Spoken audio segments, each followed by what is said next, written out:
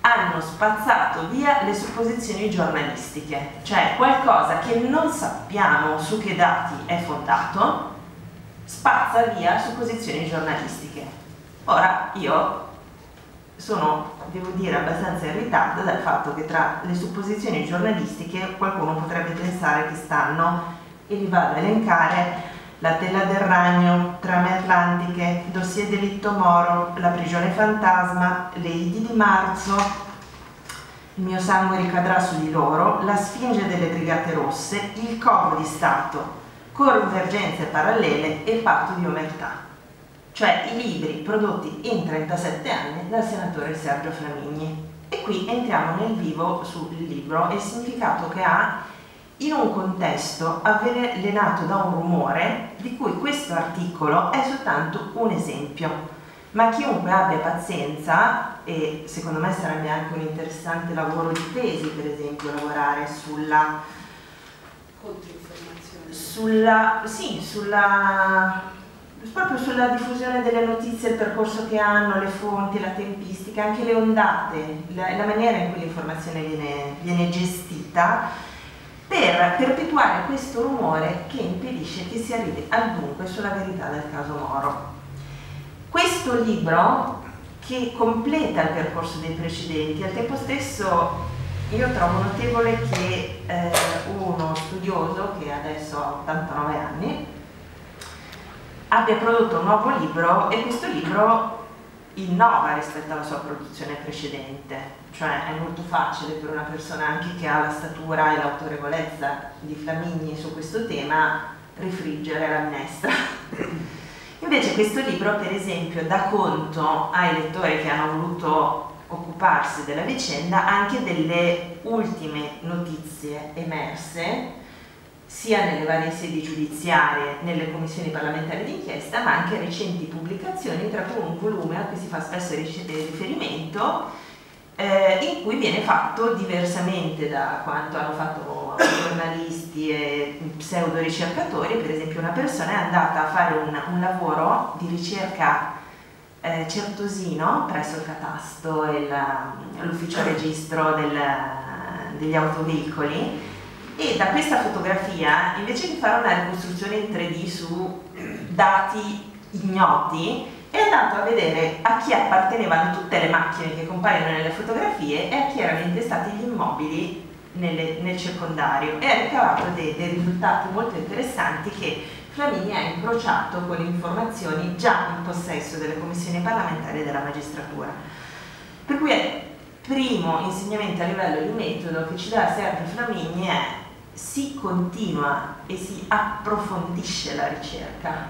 no? e ci si, eh, si, attinge a tutte le fonti purché siano documentate. E poi quando si produce qualcosa,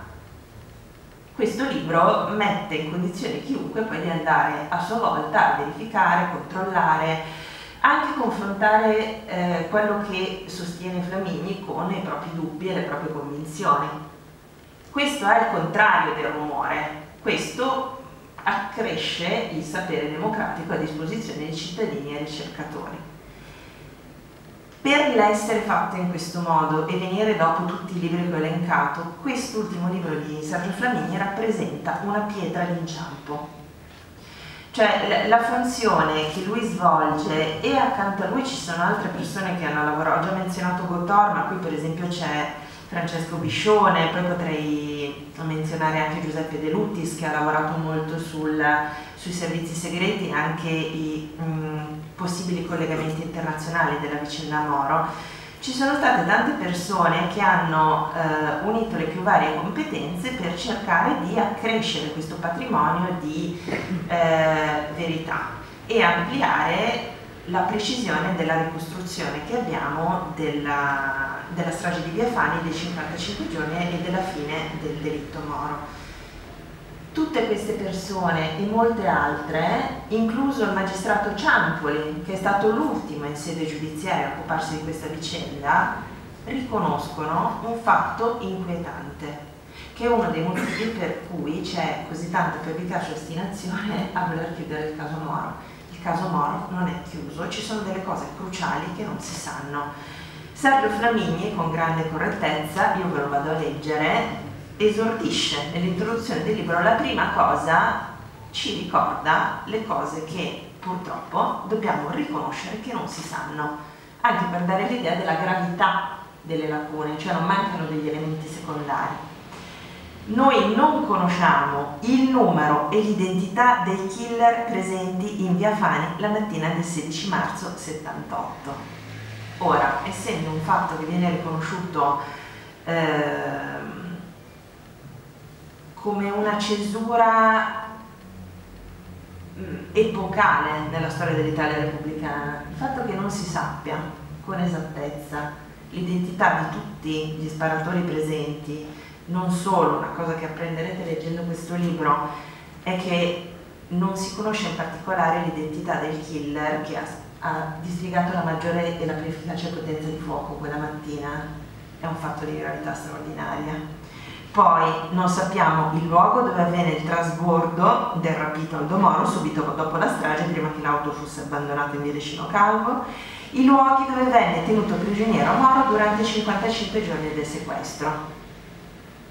No, non si sa con certezza, dopo vediamo perché si è consolidata questa vulgata di via Montalcini. Qui vorrei aggiungere una chiosa Oltre all'attività della disseminazione di notizie verosimili, più o meno falsificate, eccetera, non dimentichiamoci che eh, il cinema e la fiction hanno avuto un ruolo fondamentale. Io penso a un film come Buongiorno Notte, che è basato sulle memorie della Braghetti, hanno consolidato l'immaginario che Moro è stato in via Montalcini. Questo genere di persuasione, queste sono le cose su cui si plasma poi l'immaginario collettivo, l'opinione pubblica tu vedi una cosa, è come quando nei servizi del telegiornale ti fanno vedere dei posti poi anche se la voce dice qualcosa di diverso, tu rimani come impressionato e è una forma di persuasione occulta molto efficace, no? Poi non sappiamo di quale apparato sicurezza fu la regia dell'operazione congiunta del 18 aprile 78, cioè comunicato falso del lago della Duchessa e scoperta del covo di Via Gradoli, cioè una specie di prova generale, vediamo come reagisce l'opinione pubblica alla notizia che è stato trovato il cadavere di Moro, tutto falso. Non si sa con esattezza in quale luogo venne ucciso Moro la mattina del 9 maggio e poi non si sa perché il corpo del prigioniero venne abbandonato nel centro di Roma in via Caetani, nel, nei pressi del ghetto ebraico. Poi non si sa perché i terroristi censurarono le gravi rivelazioni fatte da Moro durante la prigionia. Le Brigate Rosse doveva essere processo popolare, avrebbero dovuto rivelare tutto, non l'hanno fatto e la qualità delle informazioni occultate, sebbene noi non conosciamo il memoriale nella sua interezza, già solo sulla base del, ritrovamento parziale del 90 abbiamo avuto come dire, un, un, profumo, un sapore del genere di informazioni che sono state nascoste, prova fondamentalmente che riguardava Gladio. Ora chiunque vede un pubblico abbastanza maturo tutti possono avere un'idea di quanto sarebbe stato dirompente se al popolo fosse veramente stata comunicata eh, quel genere di eh, documentazione e di informazione. Andiamo avanti. Eh, non sappiamo cosa conteneva la parte del memoriale Moroteo che risulta ancora mancante, non sappiamo dove sono gli scritti originali di Moro, le registrazioni audio dei suoi interrogatori, non sappiamo nemmeno, qui parliamo di documentazione invece statuale, dove sono finiti i verbali gli appunti del Comitato Interministeriale per le Informazioni e la Sicurezza e quelli del Comitato Esecutivo per i Servizi di Informazione e Sicurezza e dei comitati di crisi che si riunivano in Viminale. Ehm, perché non vennero verbalizzati tutti i documenti trovati nel 90 nel covo di Via Montenevoso?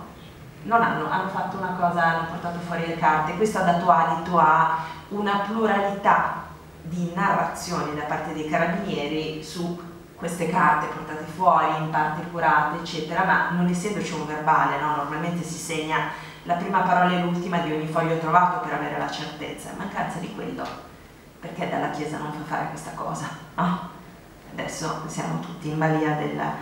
quale ruolo ebbero la struttura Gladio e gli apparati della Nato durante il sequestro? quale documentazione è presente negli archivi dei servizi di sicurezza sui viaggi a Parigi di Mario Moretti, all'epoca capo delle Brigate Rosse, quindi la persona che ha avuto la responsabilità più importante nella gestione del sequestro e dell'uccisione di Moro, e sui traffici di armi da parte del capo terrorista e di altri appartenenti alle BR. E poi non sappiamo quali collegamenti internazionali e ingerenze straniere ebbero parte nella vicenda Moro. Ora io ho perso un po' di tempo a leggere questa pagina, ma è la premessa, altrimenti io non posso parlare di questo libro senza dire che il libro parte